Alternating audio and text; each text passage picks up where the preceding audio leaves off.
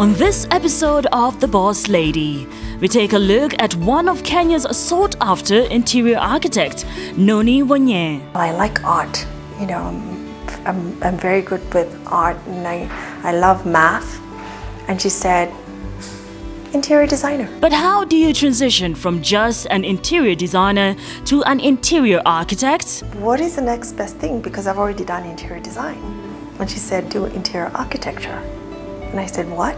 She is the brains behind the designs in one of Kenya's most famous institutions. Being able to get them to bring it into life takes quite a bit of work. All this coming up next on The Boss Lady. What does a boss lady mean to me? Oh gosh, let me think. You are a mother, a doctor, a teacher. You're everything everybody expects you to be, and you still come out strong. I think that's what a boss lady is.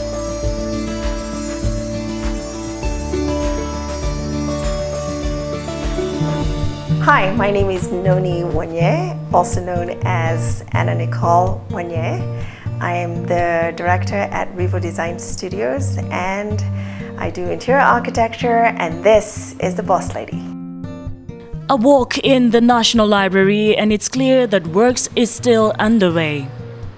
The pieces of art speak volumes and tell a story, one that we will find out about later in the show. But who is the mastermind behind the design of such important national structures? Meet Anna Nicole Wanyee, or as many would call her, Noni. Kenyan born but spent most of her young adult life in the United States. Having studied Bachelor of Arts in the Interior Architecture in San Jose State University, it was no doubt that Noni would go ahead and work in an architectural industry and design for that matter. Hence, when she founded her company, Revo Designs in the United States, California, in 2000, it was a no-brainer. Four years later, after working in the US for 15 years, Revo Designs and Noni packed up and came back home to Nairobi, Kenya, Lavington Mall. Revo Designs is an interior and architecture company. Her work as an architectural designer entails focusing on the design aspects of a building, including the plumbing, lighting, ventilation, decor, and furniture layout. Some of our clients from the US include Sinanian Development, WLACC, Culver City of Oakland, 81st Avenue Branch Library, Oakland Father River Community College, Fire Station Number 83, Antioch Peralta Community College, Buckley, among many others, and some more in Kenya that we'll know later on in the show. I went to college and he insisted because my mom insisted. Like, what is Noni doing? Is she in college yet? Have you registered? You you no, no, no. I never came back. So my dad said, "Well, your mom says you have to go to college," and I said, "Yeah." I said, "Okay, fine." So he forced me. So I walked into Chabot College in Hayward. I went into the counselor's office and I said, what is the easiest subject I could take? Seriously, just tell me what's, what is the easiest bottom line. Yeah. And we went through a series of stuff. You know, do you like psychology? Do you like sociology? Do you, what, what, what do you think you like? I said, well, I like art. You know, I'm, I'm, I'm very good with art and I, I love math. And she said, interior designer just be an interior designer. And I was like, what does it entail?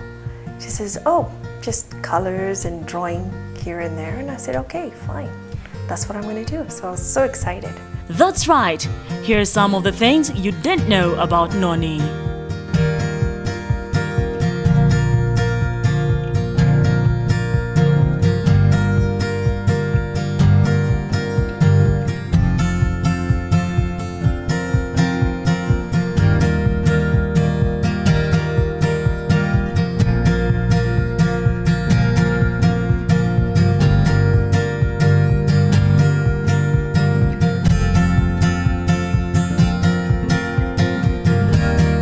Noni was born in Kenya When I was born, my father wasn't around.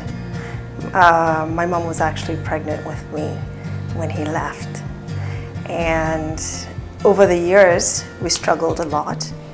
Um, my mother struggled and to bring up the family of four. And then one day we just um, were going to my sister's birthday. My mom uh, overhears some people talking and they'd come from California. One thing led to the other and you know, she, she was looking for her husband who had disappeared years ago. And a month later, they gave her a phone number and they were both in touch. And then after a few negotiations, he said, I want my last born. I was 14 years old at the time, and my mom, um, due to her economic scale, decided why not give you the 14 year old. I get to go back to the land and we call it fair. So sooner did I know it, my bags were packed and I was off to the States. And that was the beginning of a new chapter as we know it. She went on to start her company, Revo Design Studios, in 2000 in the States that she ran with her then husband until a life changing moment happened to her. My dad passed away passed away in 2007 and then I had to fly back with the kids to to this country you know to bury my dad and from then on um, the biggest question when I was going back was what is life? Where are you going? You know is it about just making money and living rather than just being with your family and appreciating life as it is. So I come in here in 2000 and I look around, in 2007, I look around and I go, wow, this isn't the Kenya I left, you know? And I started wondering who, who are all these people doing all these buildings and working so hard and, you know, and, and, and in my country, what am I doing? in a foreign world. And so it was a it was a, like a really long um, journey to just go back and and having to think about all of that. And then I decided, you know what? I'm going back to school. I'm going back to school. I'm going to pick up from where I left and I'm going to do architecture. So I went back um, took my credentials and applied into in 2000 yes in 2008 well to get into architecture program entailed x amount of things that you had to meet. Yes exactly. And so and it was going to take me years to now reorganize myself to get to what I needed. Because I felt like I would I would have regretted not doing it. Because I felt like it was, I left in the middle of my journey, in my education. And so I went, I walked in again to a counselor's office and I said, this is what I think I want to do. Of course, she said, this is what you have to meet and blah, blah, blah, and you need eight years for blah, blah, blah. Eight years yeah, to practice in order to meet the credentials of a real architect so that you can get licensed. And, and I go, ugh. And I said, what is the next best thing? Because I've already done interior design. And she said, do interior architecture. And I said, what? Yeah, she said, it's gonna take you three years. You've already done your general ed subjects. You don't need the four or five years. You just need three years. I said, great, bring it on. So 2008, 2009, and uh, 2009, 2010, and 2011 graduated with interior architecture in May. So during that time, I not only had to be a mom, but I also had to work in and compete in interior architecture world, you know, um, and being able to meet all the needs that I needed to meet. And I thought this is great. And it started really enhancing my business in the States at the time. And I thought this would just be great. You know, I could just pack up and just, you know, uplift my business from Tracy and put it down in Kenya. And so when did your business uh, peak? Well, I picked up some pretty good projects. Um, I picked up um, Enashipai. I did the Ooh. nightclub. Yeah. Wow. Yeah. So you get okay. Enashipai is beautiful, huh? Yeah. And then there was Mwalimu Sacco, which is a, a building in Upper Hill. I'm currently now doing um, the National Library, Kenya National Library. Something that we are going to be a part of, thankfully.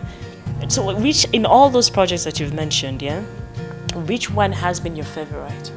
Oh, it's hard to say. I've got Don't several be scared. favorites. Don't be scared. Definitely, uh, doing the nightclub in Enashipai was very challenging. It was different because we I had to sell something outside the box, and so it, it was it was interesting that the client bought it, um, and, and which has turned out to be very good.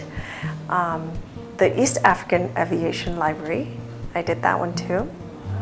Uh, and then of course the Kenya National Library, which is my latest. I think that has been very interesting because you have to encompass it, the entire nation. She shows me the concept paper of the National Library. I saw her ideas on paper and now on the ground and luckier you that after the break we get to see her vision to fruition.